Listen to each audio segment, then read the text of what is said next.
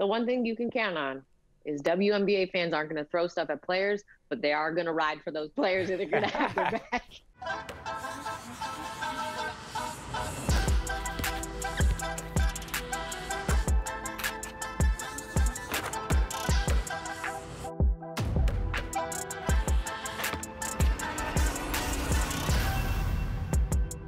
Hey everyone, welcome to North Courts. Thanks for joining us. This week we're talking all WNBA, all Canada women's basketball. Off the top, Jevohn, what do you have for us? So V, this one's an oldie but a goodie. Um, Tamara Tatham, she was actually named the, the head women's coach for University of Toronto, and I think that was a big time hi- hire by U of T, just because the caliber of person, caliber of pl- former player that you're getting. You're getting a two-time Olympian. I believe in 2015 it was. They, you know, gold medalist at the Pan Am Games, and just somebody that's had a tremendous collegiate career at UMass, a thousand-point scorer.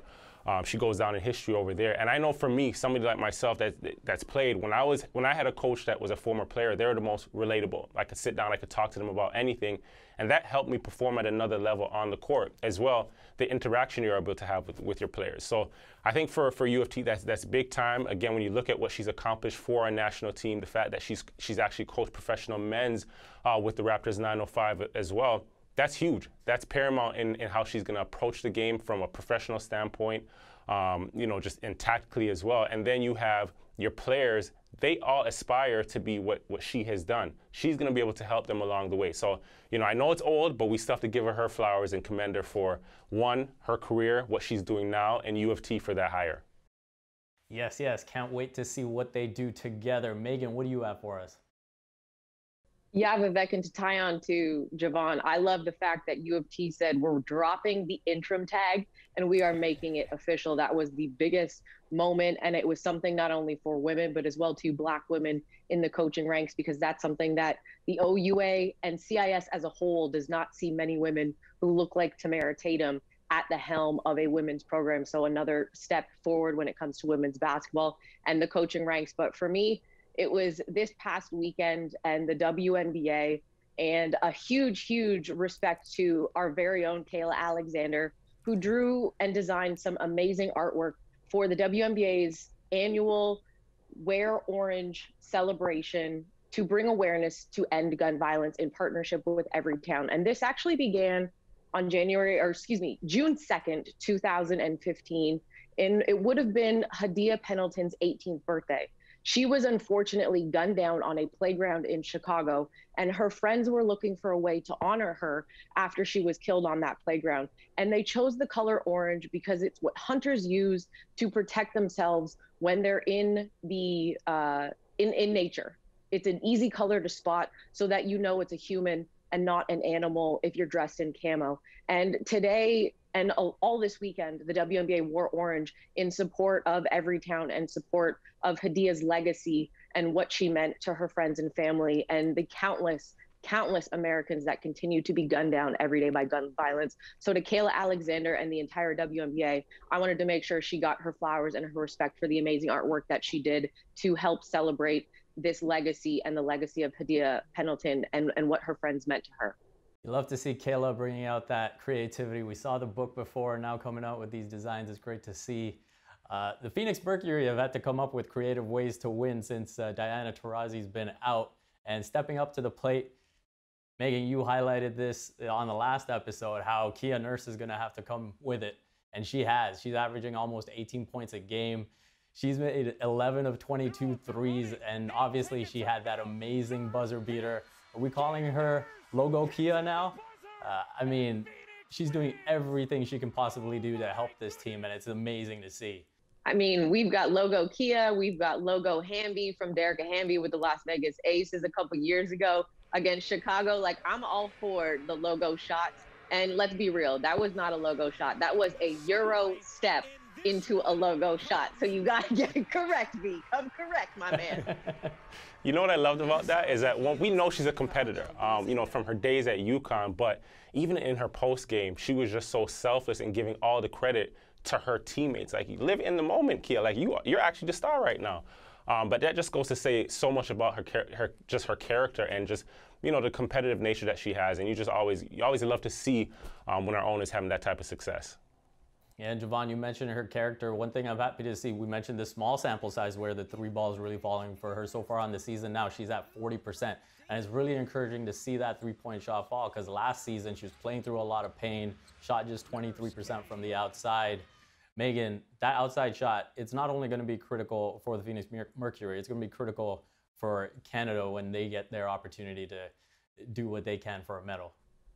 1000%. And uh, it's interesting because actually, when her and I were preparing to do uh, the all women's broadcast back in March, she was doing some of her training at uh, the OVO Center. And I was actually there for testing and I knew she was there. So I popped over to say hi. And before I went in the door, she was actually putting in work from beyond the arc. And in, I believe it was six of the shots that she took, I don't think she missed one. Like, and I'm not even joking because I don't remember and saying I don't think she missed one.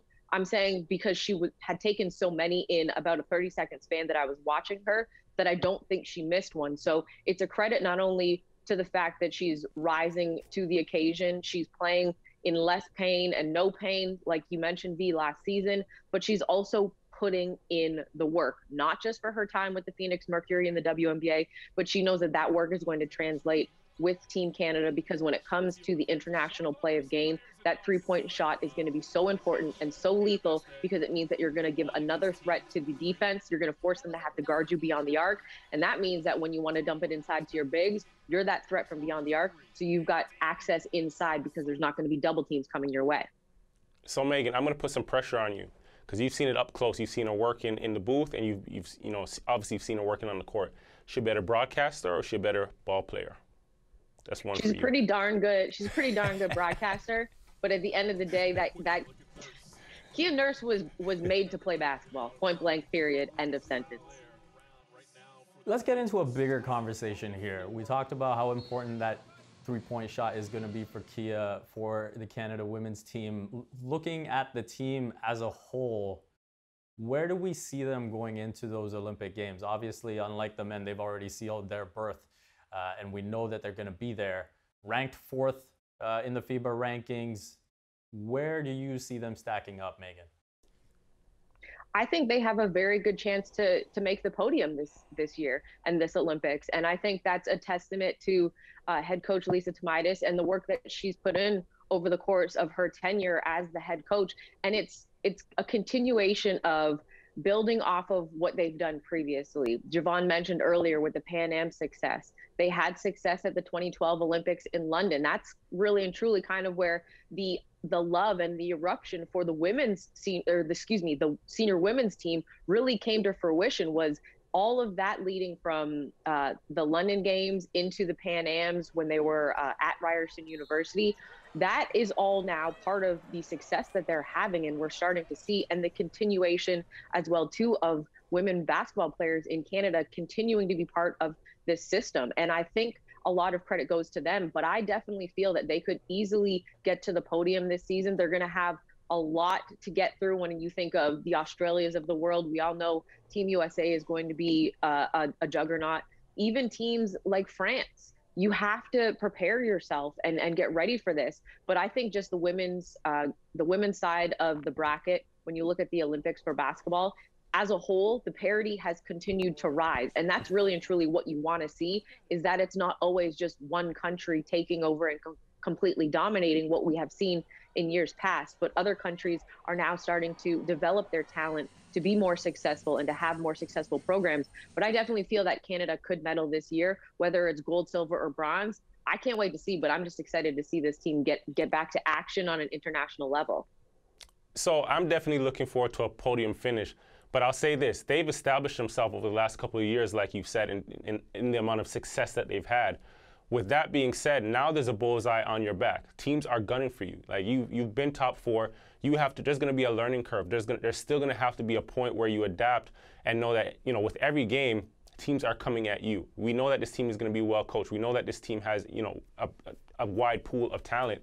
But now you know you're the top gun and teams are going to be going after you right from the, from the get-go Yeah, Meghan, you mentioned that parity. It's going to be tight. I mean, obviously, we know what the U.S. can do, but then you got the usual suspects in France, uh, Australia, Spain. And then the last World Cup, we saw Belgium get into the mix as well. So it's going to be really interesting to see how things play out. Let's head to our starting fives because it's time to get into who our starting five would be for the Olympics. Obviously, we did this in our very first episode. I'm curious to see how things have changed. For me, I was so amazed by what Laeticia Amihere did in the NCAA run. I've got her squeaking into that starting five now. Uh, I like her in that front court next to Natalie Achonwa. What about you, Meghan? So I am actually not changing my starting five from earlier when we began this show. I'm keeping it with, as you mentioned, Laeticia Amihere, uh, Kia Nurse, Mia, Miah-Marie Langlois, Kayla Alexander, and Nayo Raincock-Ekunwe. I just feel that those four, with the addition of Amihere, they bring such a veteran presence. They bring experience, not just playing with Team Canada, but as well to playing internationally, uh, professionally for their teams. Then you also have a player in Kia Nurse who plays in the WNBA, does not go overseas, uh, didn't go overseas, excuse me, this off season uh, due to COVID restrictions and whatnot, but has played in Australia and is familiar with the international game. So I think the combination of their experience matched up with, as you mentioned, Vivek, the experience that Amihere has gotten, not only just in the NCAA tournament, but when you can be coached by one of the greatest players to play the game in Dawn Staley, and who is turning herself into one of the greatest coaches as well too, who's also Team USA's coach and has the international experience as well. She's been coached by someone who's fantastic. And I think that is also going to very much benefit her when it comes to playing for Team Canada in the AmeriCup uh, qualification tournament and as well too when it comes to Tokyo 2020 later this summer. So I definitely think that that is my starting five. I liked it before and I love it even more now. Uh, you know, I couldn't have said it better, but with mine, I think I'm, I'm sticking with the same. Uh, Kia Nurse, Bridget Carleton, uh, Natalie Achonwa. Uh, I'm to throw in Aaliyah Edwards there. I, I, love what she did at UConn there, throw some youth in there. Um, you know, and, uh, these girls, I think at the end of the day, these women, they're just, they, they continue to play. Uh, they continue to play tough, they continue to grow, and they continue to get better year after year. And I think the mix of youth, the, the mix of veteran leadership and veteran, veteran experience is what is why this team has created a culture and continue to build on that culture and be successful year after year. Last thing I'm gonna shout out, hey, Minnesota Lynx broadcast, you gotta get Natalia Natalie Achonwa's name right. That's gonna wrap it up for this episode. Thank you so much for joining us. Make sure you hit that like and subscribe button and we'll catch you in a couple weeks.